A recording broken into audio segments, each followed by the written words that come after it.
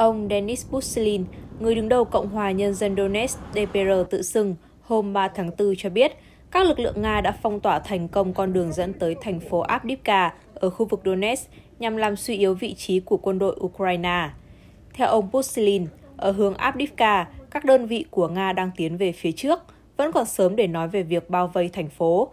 Tình hình giao tranh ở đây vẫn rất căng thẳng. Chúng tôi thấy cần phải phong tỏa con đường dẫn đến thành phố này để đạt được bước tiến. Ngày 30 tháng 3, lãnh đạo DPR cho biết tình hình xung quanh Avdiivka ở phía bắc Donetsk đang thay đổi nhanh chóng và các lực lượng Nga đang tiến công từ nhiều hướng cùng một lúc. Trước khi nổ ra xung đột, Avdiivka có dân số hơn 30.000 người, không giống như Bakhmut, Avdiivka đã trở thành một thành phố tiền tuyến trong xung đột tại miền đông Ukraine từ năm 2014 và phần lớn đã bị tàn phá nặng nề. Các lực lượng Ukraine đã được triển khai ở đó từ rất lâu trước khi Nga tiến hành chiến dịch quân sự đặc biệt vào tháng 2 năm 2022.